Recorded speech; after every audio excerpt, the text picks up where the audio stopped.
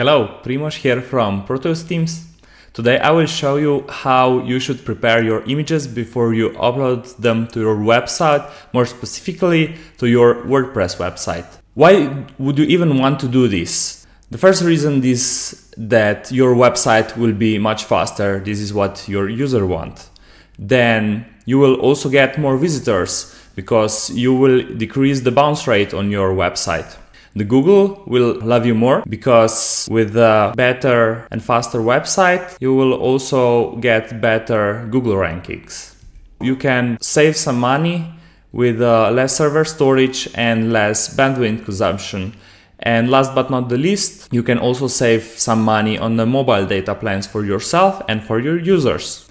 The third step is that you should choose the right image format.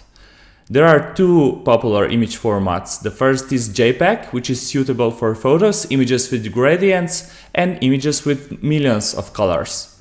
And the other one is PNG, which is very suitable for limited color images, for example, logos or charts or graphics, and images with a transparency.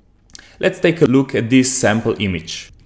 The original JPEG image is 3.1 megabytes large. If we say this very same image to the PNG, the whole size of the image increases for 45% to 4.5 megabytes. This is a good example why you should choose the right image format.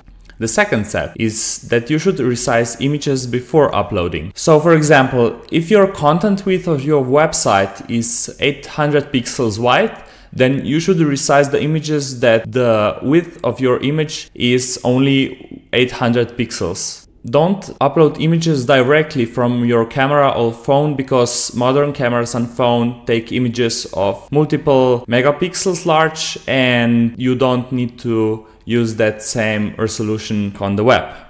Here is again the same example image. The original is 1800 pixels wide and this is as we've seen before 3.1 megabytes. When we've resized this image to be 1110 pixels wide, the whole size of the image decreased for 65% altogether to be only 1.1 megabytes. And the third step is that you should go further and compress your image. And there are many, many online tools and WordPress plugins available for that. Some are better than the others. The difference can also be if you're compressing the JPEG or the PNG images. What we did at Proteus Themes that we've tested all the plugins and the online tools that you can see here. We've come to this very interesting conclusion then the best online image optimization tool overall is Optimizilla. And among the WordPress plugins, the best one for image compression overall is the Short Pixel.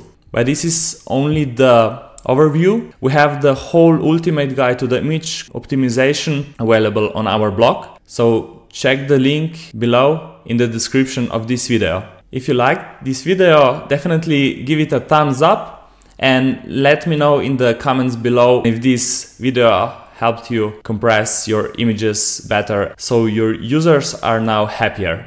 Bye!